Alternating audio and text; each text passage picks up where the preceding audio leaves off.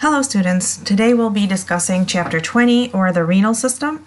And then this week we also have chapter 21 that talks about water and electrolyte balance, which really ties into the renal system too. So here it goes. Um, first off, an overview of the system and the major part of the urinary system is made out of two kidneys. Okay, and those are the actual organs that produce urine. Everything else after that are just pipe pipes for the delivery of urine outside of the body. So you have bilateral ureters and a urinary bladder and then a urethra that you know will take the urine out of the body. But the actual organs that make the urine are the kidneys, everything else are just pipes pretty much.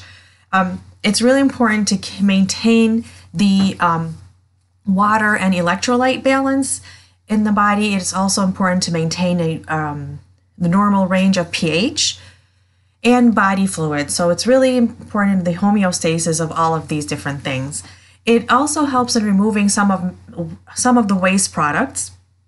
Okay, even some of the drugs or their metabolites, like different medications, and um, as the body metabol- uh, metabolizes them, the kidneys sometimes help in their excretion.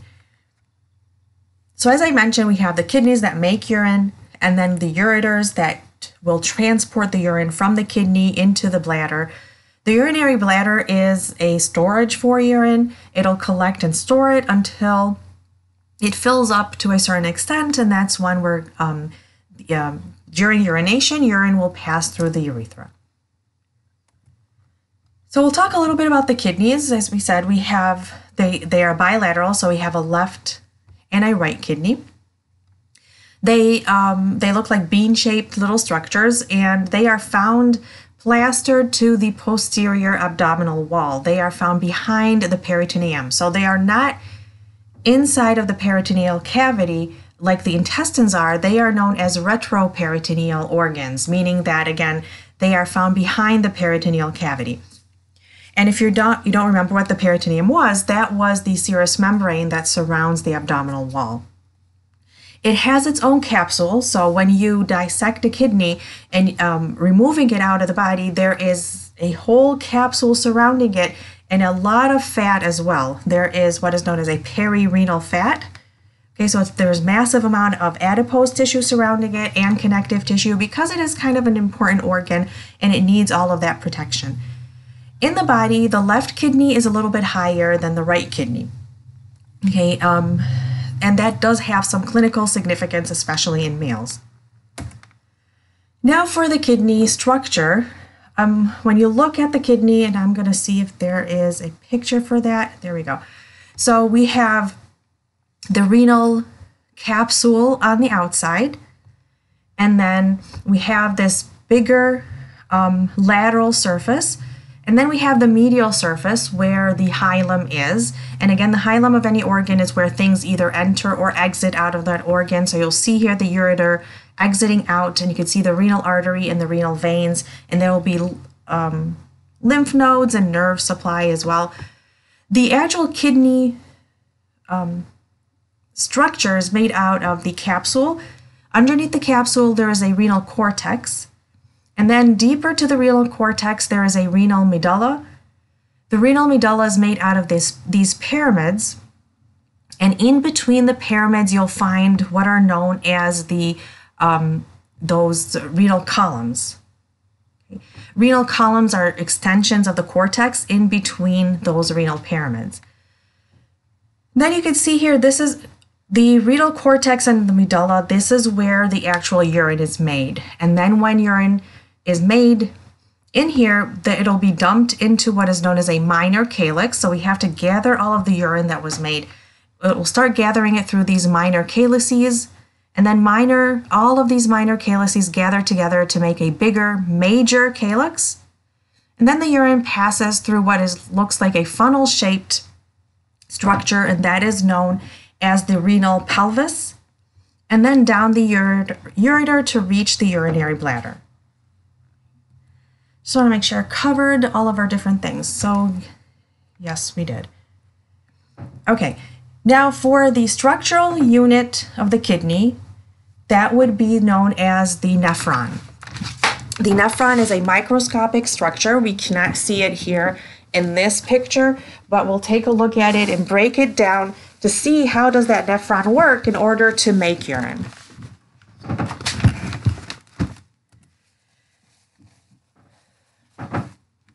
So you could see here the different parts of the nephron.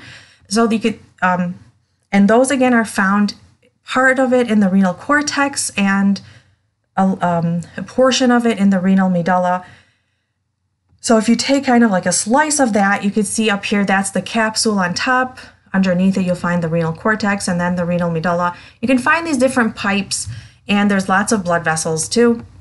But we'll talk about the pipes first, okay? And then we'll kind of move on to the blood vessels. So you'll you'll have that all this whole structure is known as your nephron.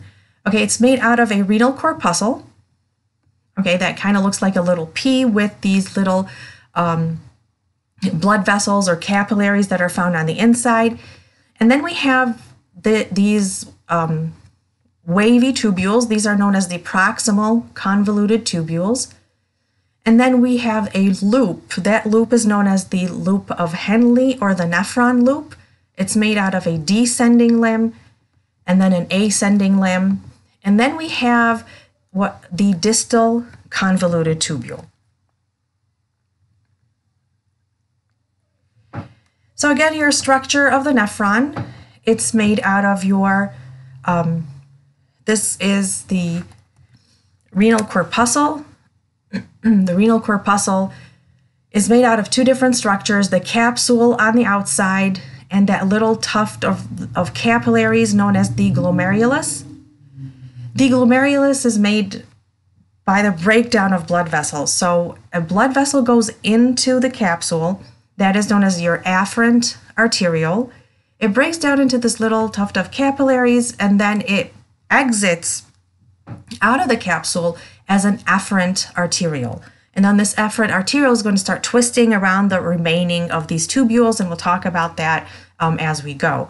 But again, your different parts, you know, following this, you have your proximal convoluted tubules, your nephron loop, the descending and then the ascending loop, and then the distal tubule or the distal convoluted tubule, and then you'll end up having a collecting duct. So we want to start collecting all of that urine into a collecting duct. And then these collecting ducts, as you can see here in the medulla, are going to dump the urine into the minor calyx. So structure of your nephron, one more time. We have the renal corpuscle made out of the glomerulus, which is basically those that cluster of capillaries where you have the afferent entering into the glomerulus, um, you know, it or entering into the capsule. It breaks up into a cluster of capillaries known as the glomerulus, and it exits as an efferent arteriole, and then that is surrounded by the Bowman's capsule or glomerular capsule that is going to receive anything filtered out of these capillaries. Okay, um, and then we have the renal tubules, and that is those pipes that extend off of the glomerular capsule. So it'll it'll give you your proximal tubule and then your nephron loop and then your distal tubule following by the collecting duct. Okay, the collecting duct uh, will um, be inside of the renal medulla and then dump the urine into the minor calyx. This is a closer look at the nephron or at the renal corpuscle in particular. You can see here that this is made out of a single layer. The, um, the glomerular capsule is made out of a single layer of these flat cells. And then again, you can see here the afferent arteriole that goes in. It breaks up into a um, capillaries and then it exits as an efferent arteriole. You can see that the capillaries are covered with these cells. These cells are known as podocytes. So podocytes, site means cell, podo kinds of kind of comes from petal. Look, the meaning that they have these feet-like extensions or what it looks like these finger-like extensions.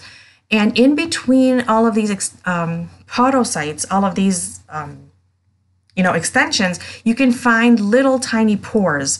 Okay, what are known as slit pores. And if anything can um, fit through those pores, it will be filtered into this glomerular capsule. So as blood goes in to the glomerulus, there is a hydrostatic pressure. It goes in with a certain pressure, um, and everything that again can fit through these little slits will be filtered in here. So you'll find the very first step of making urine is known as filtration, where it will filter you know water and anything that can fit through those little tiny pores like amino acids, glucose, um, ions, and you know different things that we'll talk about as we go. And again, that is your very first step. Another thing that I want to get your attention to is that the afferent arteriole is wider than the efferent arteriole. Okay, and that keeps the pressure inside of those these glomerular capillaries high in order to help infiltration.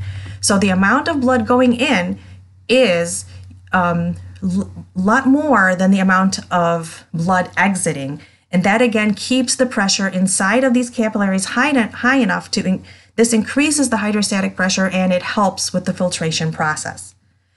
And the kidney has the ability to change the width of these blood vessels so it can dilate or constrict them and that can lead to different changes of um, hydrostatic pressure in here and that could affect filtration.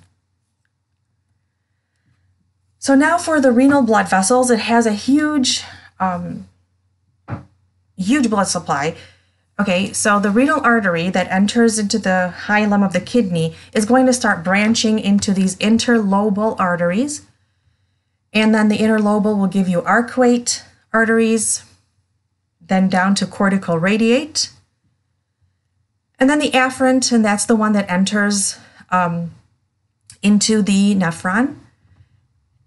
That gives you the capillaries known as the glomerulus. It'll exit as the efferent, and then we'll give these peritubular capillaries that are going to be um, surrounding the rest of the tubules. And then we have to drain all of that blood through the cortical radiate vein, arcuate vein, interlobar, and then finally the renal vein. So take a look at them, you know, here on this image. So first off, we start with a renal artery, okay, and that's going to be bringing in the oxygenated blood. And then the renal artery is going to branch into these smaller branches, and where these branches um, are found in between the medullas or between these pyramids. And that is known as your interlobar artery. That interlobar artery is going to arch around the pyramid, and it because of that arch, we call them the arcuate arteries. Now, that arcuate artery will give out a little tiny branch that enters here. So that is your afferent artery, your glomerulus inside, and then it exits as the efferent artery or efferent arteriole. And then it'll wrap around the rest of the tubules, and those are known as your peritubular capillaries. That pretty much, you know, is going to use up all of the oxygen, so now we have to gather all of that deoxygenated blood. Okay, and we'll do that by gathering the blood through these cortical veins, and then your arcuate veins, interlobar veins, and then finally gather out as the renal vein. So the blood vessels of the nephrons, as I mentioned, you know, as we've discussed before, there is an afferent where the blood flow is going to enter into this glomerulus and then exits as an efferent arteriole. The afferent is usually um, brings in more blood. So the amount of blood entering is usually more than the amount of blood exiting. And that helps, makes sure that the hydrostatic pressure in here um, helps the filtration process. But again, we could change that up. So I'll give you a couple of scenarios and you try to figure out what would happen. So, what would happen, in your opinion, if the efferent arteriole um, vasoconstricts?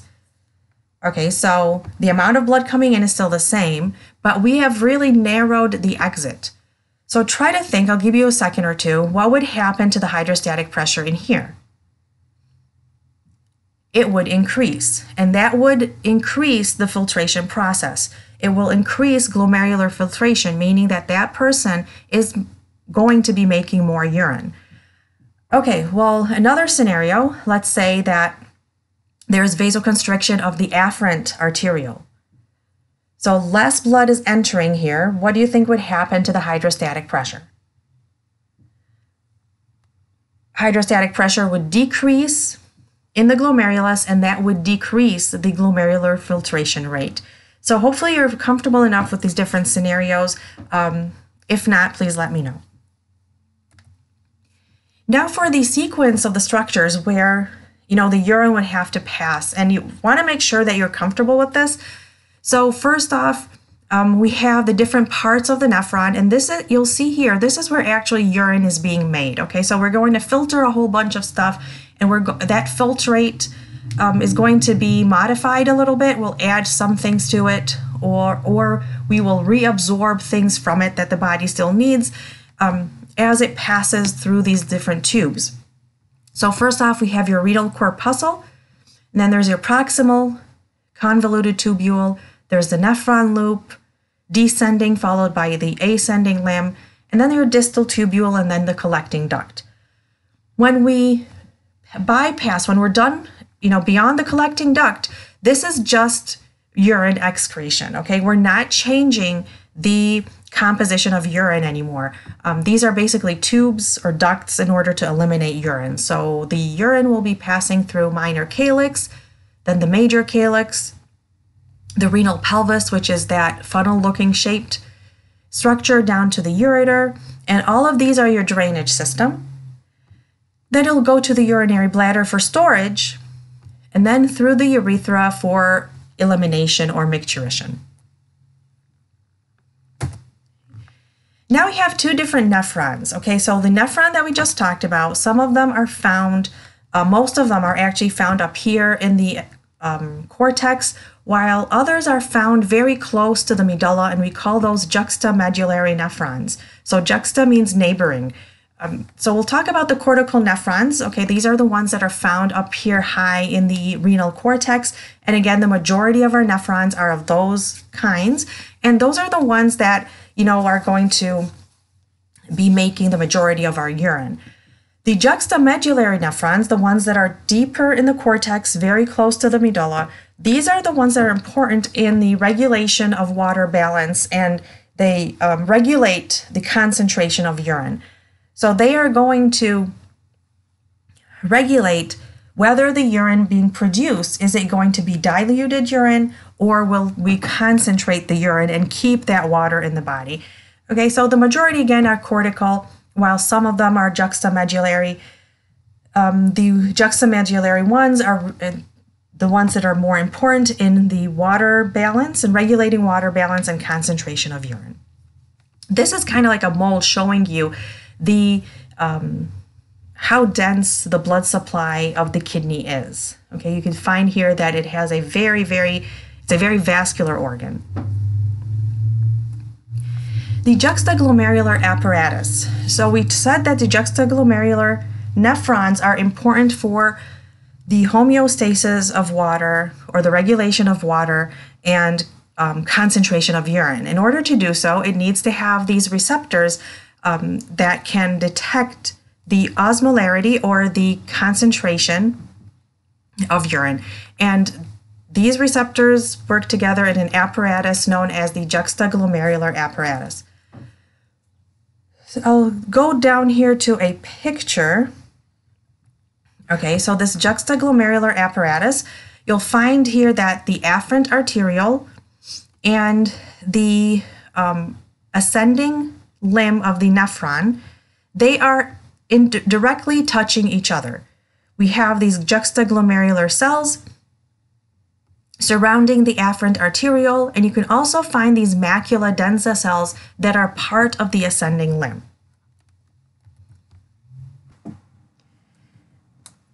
These juxtaglomerular cells that are surrounding the um, afferent arteriole, those detect changes in blood pressure in this afferent arteriole. So as blood is going into the glomerulus, these macula densa, um, sorry, these juxtaglomerular cells have baroreceptors that pick up changes in blood pressure, while the macula densa cells that are part of the ascending limb of the nephron are able to pick up changes in the osmolarity or the concentration of urine. So they have osmoceptors. Um, they any changes in blood pressure, okay, is going to when we stimulate these juxtaglomerular apparatus, that is going to lead to the secretion of renin. Renin is a hormone that is released by the kidney and it it is going to activate that renin angiotensinogen system that helps bring back the blood pressure back to normal. So we will activate this system if hypotension occurs. Now, little clinical application. Um, we'll talk about glomerulonephritis, which translates into the inflammation of the glomeruli. Nephritis is inflammation of the kidneys, while glomerulonephritis would be inflammation of the glomeruli. It could be either acute glomerulonephritis or chronic um, glomerulonephritis. So we'll kind of take an example of, e- of each. In acute glomerulonephritis, um, that means that there is an acute attack on the glomeruli, and the most common cause is due to um, an immune reaction. And the scenario usually is that somebody gets strep throat. They do not take antibiotics for it. Okay, so the strep throat is caused by a beta hemolytic streptococcus um, bacteria. And if the patient doesn't take antibiotics for it, the body responds, or not in every, not all people, but in some individuals, their immune system makes an antibody that is unable to recognize their own glomeruli. So that antibody made against that bacteria is going to start attacking the person's own um, glomeruli in the kidney. So it's it's considered um, an autoimmune disease where you have this antigen antibody complex that are going to attack the kidney tissues and lead to the destruction or an acute destruction or acute inflammation of the glomeruli. In chronic glomerulonephritis, this occurs over a longer period of time. It is a more progressive disease, and um, the kidneys or the glomeruli are, you know, progressively destroyed until the kidneys lose their function. They can, if somebody goes through, through this for a long period of time, they can lead to increase in fibrous tissue or scarring tissue in the nephrons, leading to renal damage or and renal failure. Now we'll start off with the process of urine formation. So it's made in three different parts. The third process, first process is glomerular filtration, where we are going to filter plasma and anything or water and anything that could fit through those slits. Okay, that happens inside of the um, Bowman's capsule. And then as we go through the proximal convoluted tubules, the, we go, move on to step number two, which is tubular reabsorption, where the kidney realizes that, you know what, there are things that I just filtered that I actually need, like glucose, amino acids. Um, I need to reabsorb those back into my body and then it moves on to the distal tubules where the majority of tubular secretion happens. And tubular secretion would be the secretion of some of the waste products. So, again, the kidney realizes that there's still some metabolites in my body that I have to get rid of, so it'll secrete it into the urine. So, we'll take a look at the first process, or we'll take a this shows you all three processes. First one happen that is going to occur would be glomerular filtration. And again, due to the high hydrostatic pressure here in the glomeruli, things are going to be filtered out. And that filtered fluid is now known as filtrate. As we move through the renal tubules, most of tubular reabsorption happens in the proximal tubules, where again, things that are important to the body, like glucose and amino acids and um, you know some ions, are going to be reabsorbed from the tubule into the capillaries. While things that are in the capillary that might be considered metabolic waste will be secreted. And most tubular secretion happens in the distal tubules. For example, if there is too much potassium or too many hydrogen ions, those could be secreted from the peritubular capillaries into the renal tubule. And then eventually, you know, whatever the end result of that filtrate is would be eventually eliminated as urine. Glomerular filtration, that again is your first step. It happens in the glomerulus where things that are going to be filtered out through, through these little slits that are, um, are also known as fenestrations. Anything that is small enough is going to be filtered. Okay, so large, bigger molecules like large proteins. Okay, um, bigger cells like red blood cells.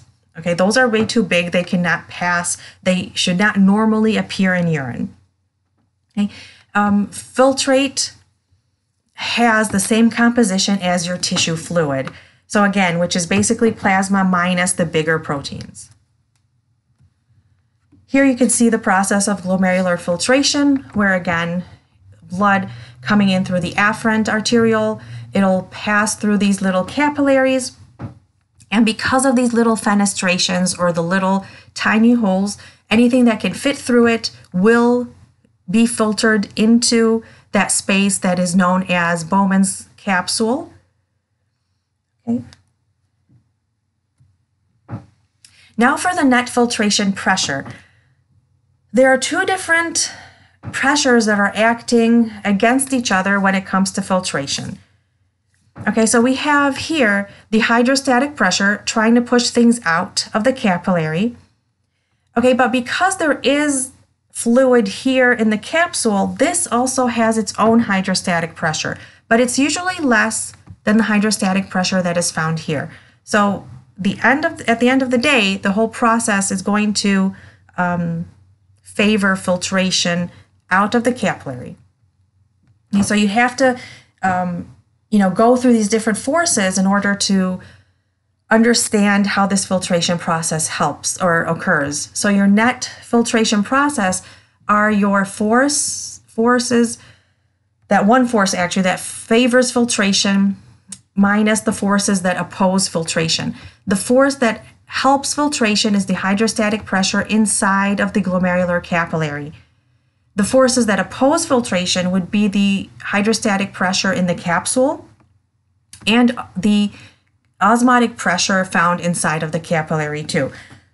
So we can kind of go over here and don't really worry about these different numbers, but I just want to show you the three pressures that are in place here. Again, filtration, the one that helps filtration is the hydrostatic pressure here in the glomerulus, while the two that oppose filtration would be the hydrostatic pressure in the capsule and the osmotic pressure of the capillary. So the osmotic pressure in the capillary will try to pull in water back into the into the capillary. But at the end of the day, um, you know, if you do the math, your net result is filtration. Glomerular filtration rate is directly proportionate to all of these net filtration pressures. Okay, you can see here that on average, we filter about 180 liters per day, but we only make half to about two and a half liters of urine per day. Okay, so the remaining of that 180 liters, we have to reabsorb all of that back through that process that we know we um, now know as tubular reabsorption.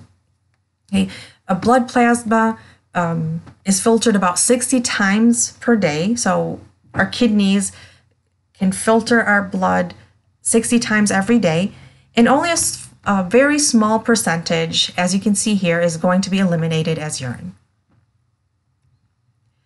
So, how is it that the kidneys regulate filtration rates? There is the process of autoregulation. Um, so, autoregulation would be by what, in order to, and this is where the afferent and the efferent arteriole kind of come in. Okay, so you can change the diameters of the afferent or the efferent arteriole to either increase or decrease the filtration rates, and that is known as autoregulation. There's also the renin-angiotensin system. And then there's the these two hormones One of them is known as the atrial natriuretic peptide, and the other is known as the ventricular natriuretic peptides. These two hormones are going to, they're protein hormones, as you can see, and one of them is made by the atrium of the heart, and another is made by the ventricle. And these increase the excretion of sodium in urine, and the names tell you what they do. And when you increase the uh, the excretion of sodium in urine, by osmosis, sodium is always going to be pulling water with it. We want to talk about the renin-angiotensin system. So angiotensinogen is a protein that is made by the liver, but it circulates in an inactive form as angiotensinogen in our plasma. When there's a decrease in blood flow uh, or decrease in blood pressure to the kidneys, that is when the juxtaglomerular apparatus is stimulated and it's the kidney makes renin. Renin is going to activate angiotensinogen into angiotensin 1. Angiotensin 1 is still not active. Okay, it has to be activated into angiotensin 2, and that is done by an enzyme known as ACE or angiotensin converting enzyme, which is found in the endothelium of the lung capillaries. Now, angiotensin 2 is the active form. Okay, so it'll produce these four different things in order to bring your blood pressure back to normal. It'll vasoconstrict the blood vessels, It'll increase aldosterone secretion. It'll increase antidiuretic hormone secretion. And it'll stimulate the thirst center in the hypothalamus, making the person thirsty and uh, increasing their water intake. Now, all of these four actions together eventually bring back the blood pressure back to normal. Now, moving on to glomerular um, tubular reabsorption, I just want to show you a couple of numbers. Again, you don't have to really worry about the exact um, numbers of these, but I, I have it here to show you a couple of things. So for example, glucose, okay, in our plasma, our glucose levels are about 100. Um, these again are just averages, 100 milligram percent. We filter all of it but in normal individuals, there should no not be any glucose in urine. So you see here that we have reabsorbed 100% of that glucose. So all of the glucose is filtered in the kidney, but it, all of it is going to be reabsorbed back. Okay. Another, you know, an, an example here that you can see creatinine. We, this is your levels in plasma and we are going to excrete it all or filter it all in the glomerular filtrate. But you see in urine, it has a high level of creatinine because the body is going to actively secrete every single last molecule of creatinine into the urine. It is a toxic metabolite that the body has to get rid of. So these should just show you, you know, these numbers are there to kind of illustrate the difference between something that the body needs that is going to be reabsorbed versus something that is toxic to the body and needs to be secreted into urine. So we'll talk about tubular reabsorption. The majority of tubular reabsorption happens in the proximal tubules. Okay, the um, what and tubular reabsorption means that important molecules like glucose and amino acid are going to be reabsorbed, and the movement is from the tubule into the peritubular capillaries. While secretion that mostly happens in the distal tubules is in the opposite direction, where um, secretion will be secretion of metabolites that are toxic to the body. Um, the body wants to get rid of it, so you will secrete them, and the direction of flow would be from the peritubular capillaries into the nephron. So a couple of, you know, a little bit more details, detail on tubular reabsorption. Some of them are um, reabsorbed through a process of active transport. Okay, for example, um, glucose and amino acids, okay, those have to be actively transported from the tubule into the peritubular capillaries which means that we need a protein carrier. Okay, if you go back to what active transport was, it was using a transporter, using a carrier, and it needed energy, it needed ATP. The only thing, though, here is that we're kind of limited on the number of these carriers. So if somebody is diabetic, which means they have very high, higher than normal glucose levels, um, that is going to overwhelm these carrier proteins. They are going to be saturated, which means that eventually some of that glucose is going to leak into the urine and they would have glucosuria, which means glucose is going to spill into the urine. And um, so, again, normal urine should not have glucose in it, but in diabetic patients, because of their higher than normal glucose levels um, and the overwhelming or the um, you know reaching the maximal capacity of these carrier proteins glucose will eventually appear in urine. So these are actively transported glucose and amino acids. Um, water is going to follow by osmosis and then the smaller proteins that were filtered out those are going to be uh, returned back um, through a process of endocytosis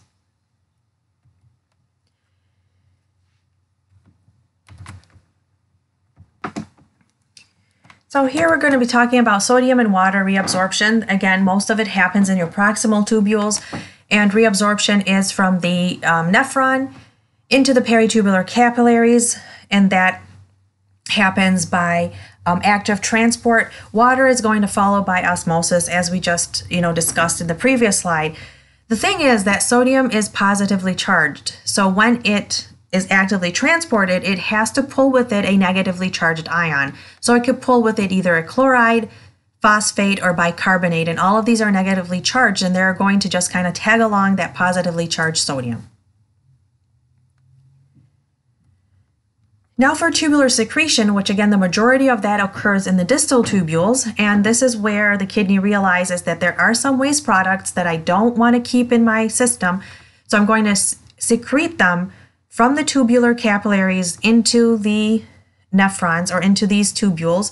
For example, potassium and hydrogen ions. Sometimes even different drugs or medications that we're taking, those can be eliminated eh, using that same process as well.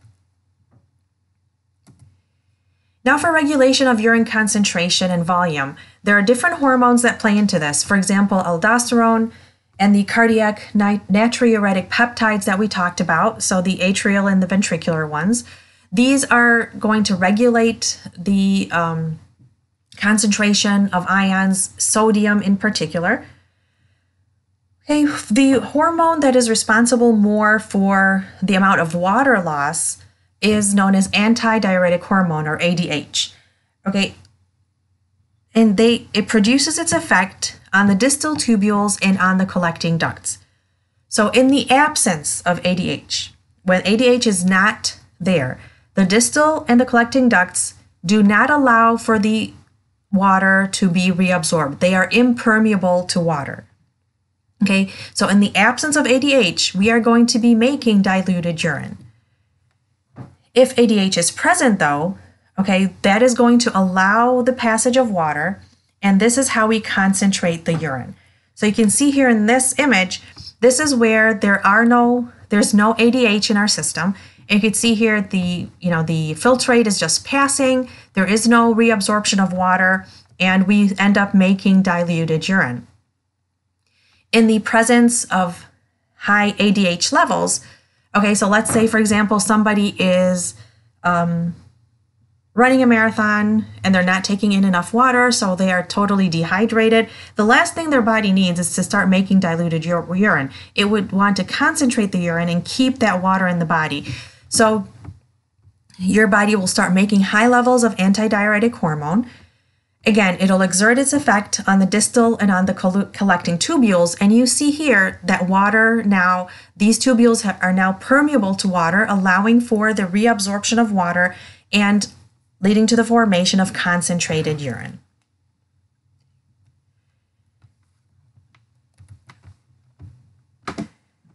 Now, the countercurrent multiplier is the um, events that happen in the nephron loop. So we have a descending limb and an ascending limb. The descending limb, as you can see, it's much thinner, and it allows it is permeable to water, but it does not it is not permeable to ions. Okay.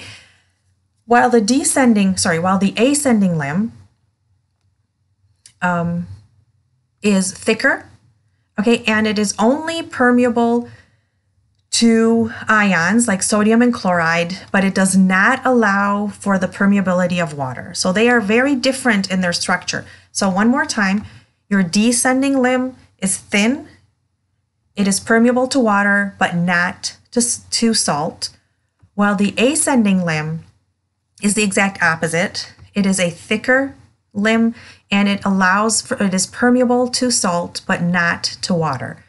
And that is why it's known as the con- counter current multiplier because of the, you know, the different flow of fluid and um, their effect on how we change the osmolarity of urine. And so, which we are going to be talking about in this next slide right here. Did I go in the wrong direction? I did. Okay, so first off, when we filter everything here, the filtrate in this, in the proximal tubule, is an isotonic fluid. Okay, this isotonic fluid is going to enter the descending limb, and remember again, the descending limb is permeable to water only. So now we're going to be concentrating that isotonic fluid into a hypertonic fluid. Now, this hypertonic fluid is going to enter the ascending limb, which is permeable to salt only, and that is why we're going to be reabsorbing all of that salt um, as it passes here, leading to a hypotonic fluid at the end. So you see how we're changing the tonicity of urine as it's passing through the different parts of the nephron. So again, in the proximal tubule, it ends up being isotonic. It enters the nephron as isotonic, and as it reaches the end of the descending limb, it becomes it becomes hypertonic. And then that hypertonic fluid, as it's ascending through the thick ascending limb, we are going to reabsorb all of those um, salts and end up eventually making hypotonic fluid. And then hypotonic fluid will enter into the distal and the collecting tubules. Now for the urea and uric acid formation. Urea is a byproduct of protein catabolism. So as we break down our little proteins, we end up making urea. Okay, it really reflects the amount of protein in urine, the higher protein intake, sorry, protein in diet. The higher protein intake, the higher urea um, formation or urea excretion.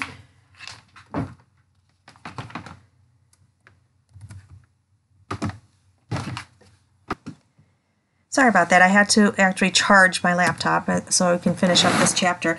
So again, urea is a byproduct of protein catabolism. It'll enter um, the renal tubule through glomerular filtration, and then the body, you know, some of it is going to be reabsorbed, some of it is going to be secreted. We end up actually reabsorbing about 80% of it, and the remaining 20% is going to be excreted in urine. So our body keeps 80% of that urea. Uric acid is a byproduct of nucleic acid metabolism. We're also going to be filtering that. We, um, just like urea, we reabsorb um, all of it, actually, 100% of it is going to be reabsorbed through active transport, but then we secrete about 10% of it through tubular secretion. So, again, um, you know, in both of these, we keep some and we secrete some. Urine composition. So, what does urine eventually look like? Well, whatever is the end product um, coming out of the collecting duct. Okay, so it 95% of it is made out of water.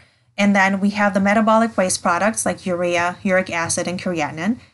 And we might have some trace amounts of amino acids and different amounts of electrolytes depending on the needs of the, the body. So your urine composition really is changes from day to day and time to time, depending on your dietary intake, physical activity, um, water intake, and lots of different other factors. Temper, you know, the um, atmospheric temperature, and so on. So, on average, we make about half a liter to two and a half liters of urine per day. Um, each urine output would be about 50 to 60 milliliters um, of urine per hour. That is normal rate. But again, the amount, the volume of urine really depends a lot on the fluid intake and other environmental factors. renal clearance means that if you are given something into your bloodstream, how what, what is the percentage of it? What percentage of it would actually be removed from the plasma by your kidney? So, renal clearance is the rate at which a chemical is removed from the plasma by the kidneys. It is an indication of kidney efficiency. It could also help us in determining glomerular damage and the progression of renal disease. So, as renal clearance changes, it can tell us is if that renal disease is worsening or improving. And we've got different renal clearance tests to perform. There's inulin clearance test, and we get that from a plant root, or creatinine clearance test. Um, but the problem with these two tests that they are filtered by the glomerulus, okay, um, but neither of them are reabsorbed or secreted. Okay, so we are basically kind of when you're looking at this, it's basically giving you an idea about glomerular filtration without looking, without taking into consideration reabsorption and secretion. Now for the ureters, those are your tubular organs. They're made out of smooth muscles. Uh, we'll talk about the different layers as we get there um, that are going to take the urine from the kidneys and dump it into the urinary bladder. They start off as that funnel shaped renal pelvis and they join the urinary bladder in the back, okay, so the posterior portion of the urinary bladder. The ureter has three different layers. There's an inner mucus coat made out of transitional epithelium. There is a middle muscular coat made out of smooth muscle, and then an outer fibrous coat made out of fibrous connective tissue. The ureter does have these peristaltic waves in order to transport urine um, down the ureter, down into the urinary bladder. These peristaltic waves, though, are um, if there's any kind of obstruction, like due to a kidney stone or renal calculus, so renal calculus is just a fancier term for kidney stone, that could l- trigger what is known as a ureterorenal reflex, where we have these very strong peristaltic waves in the obstructed ureter to try to move the stone downwards into the urinary bladder. When that occurs, if there is an obstruction in one of the ureters, that is also going to decrease the amount of urine being produced by that kidney on that same side. So, kidney stones can be either made out of uric acid, calcium oxalate, calcium phosphate, or magnesium phosphate. They usually form in the collecting ducts or in the renal pelvis. They could lead to um, hematuria, which is blood in urine. They lead to very severe uh, attacks of pain, nausea, and vomiting. Most of the kidney stones pass on their own. Okay, sometimes we would have to shatter them into smaller parts through what is known as lithotripsy, um, and then we, when if they're too big, you can kind of shatter them into smaller parts, and then those smaller parts will be eliminated. If they're too big where you cannot do that, they could be surgically removed. The t- kidney stones tend to kind of run in families, especially the calcium stone kind. And um, causes of kidney stones would be calcium supplements, okay, especially if the this is something that runs in families, or excessive intake of vitamin D, urinary tract infection and urinary tract blockage. Those can lead to kidney stones. So if somebody has recurrent UTIs that leads to scarring in fibrous tissue, that could lead to um, UT blockage and then eventually lead to the formation of kidney stones. Now, the urinary bladder, that is the hollow organ. Okay, it's um, highly muscular organ found in the pelvic cavity. It is right behind the symphysis pubis and it is underneath the parietal peritoneum. So, again, the urinary bladder is not a peritoneal organ, it is underneath the peritoneum. It's considered there to store urine, okay, and it is there a picture on here? There is. Okay, perfect. So in this is right here in the female, you can see that this is the urinary bladder and it is found inferior to the uterus. And that is why in pregnant women, there the uterus is going to compress the urinary bladder and there is what is known as increased frequency of urination because of the compression. Okay. In males, um, you could see here that it is find, found again behind the symphysis pubis, and these are the two ureters that are entering from the back onto the back of the urinary bladder. And you can see here the, the uh, seminal vesicles and the prostate underneath the urinary bladder. For the, for the wall on the inside, I think there's a picture that'll show that, and we'll get to that in a minute. But the four different layers of the bladder, there's an inner mucus layer made out of transitional epithelium. And if you guys remember that chapter about epithelium, we taught we kind of nicknamed transitional epithelium, we nicknamed it uroepithelium. You see here that is pretty much found in several parts of the urinary system. And then we have a submucous coat, and then a muscular coat made out of smooth muscles, and then the outer serous coat, which is only the upper surface made by that parietal peritoneum. Okay, the smooth muscle fibers um, are what are known as the detrusor muscle, and the detrusor muscle, when it contracts, it leads to emptying of the bladder. And then we have two sphincters. There's an internal and an external sphincter. The internal sphincter is smooth muscle. It is involuntary. We cannot control that one. It's the external sphincter that we do have control over that is made out of skeletal muscle fibers. And as kids, you know, when you want um, a kid to start, um, when you potty train a kid, you're training them to control the external urethral sphincter. So this is a look at the urinary bladder from the inside, and you can see here the openings of the um, ureters all on the bottom. We actually can't see them, but you see that the ureters are going to open in the back. Okay, these right here are your two openings right here, and then you have the opening of the urethra. And that kind of triangle is known as your trigone. Um, this is a male bladder because you see here a prostate that is surrounding the urethra. This is a posterior surface or posterior, um, an image of the posterior side of the urinary bladder in a male as well, because here you can see the two seminal vesicles and the prostate as well. Now for the urethra, that's your tubular organ that will carry the urine from the bladder to the outside world. It's lined by a mucous membrane. It has many glands known as urethral glands, and it helps in um, lubrication. Okay, in females, the urethra is shorter than it is in males, and that's why females are more prone to urinary tract infections. Okay, the external urethral orifice is found just anterior to the vaginal opening. In males, um, it has a dual function both for urination and for reproduction. The male urethra has three different parts. There's the prostatic urethra, which is the part of the urethra surrounded by the prostate. And then there's a membranous urethra, and then a spongy urethra. And the spongy urethra ends um, at the very tip of it, you'll find the external urethral orifice. Here you can see the difference between um, a female urethra and a male. So again, um, female urethra is short is shorter, and hence the increase of UTIs in, um, in females. In a male, you find the prostatic urethra surrounded by the prostate, and then you have your um, the membranous urethra surrounded by the external urethral sphincter and the bulbourethral glands, and then you have the uh, spongy urethra surrounded by the erectile tissue.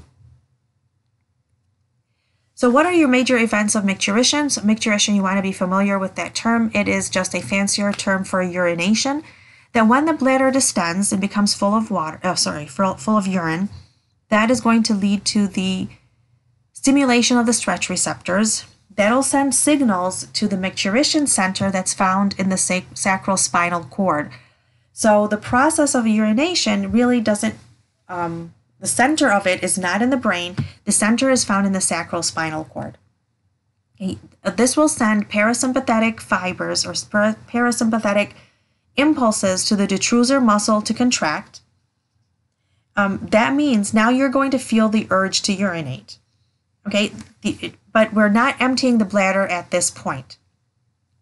In order to empty the bladder, you have to voluntarily relax the external urethral sphincter in order to let the urine come out.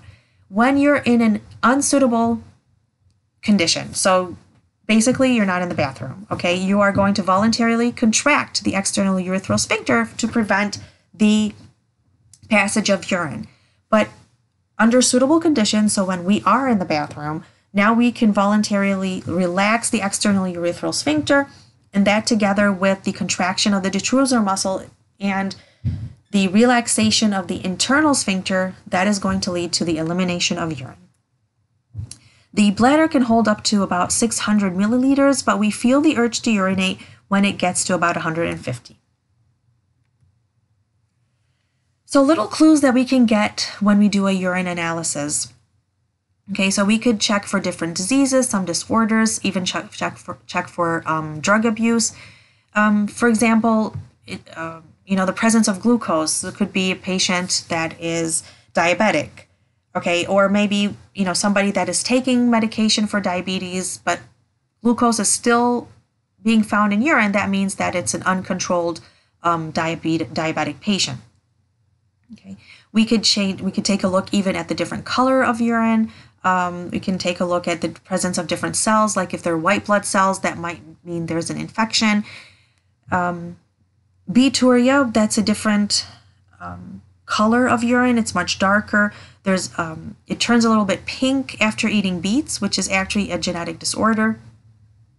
Sometimes even the change in odor um, due to the um, increased intake of asparagus that can lead to um, a very smelly ur- urine. So, what are the lifespan changes that can happen to the urinary system? Okay, well, just like any part of the body, tends, things tend to slow down. Okay, so at about age of 80, the kidney loses about third of its mass. Um, so about third of its function, it is going to slow down and decrease the glomerular filtration rate to about a half by the age of 75. We can start developing proteinuria, so some protein can now be able to um, be detected in urine. There will be less efficiency in the reabsorption of nutrients and ions. It the blood flow to the kidneys could be slower, either due to atherosclerosis or diabetes, diabetic changes. The bladder, ureters, and the urethra lose the, their elasticity. The bladder is unable to hold as much urine, so you'll find um, one of a you know a very common um, symptom by by seniors would be the frequent um, that they the increased frequency of urination. Okay, increase the frequency to the or the urge to urinate. The kidneys also lose the ability to activate vitamin D and incontinence might also be an issue. And this concludes this chapter.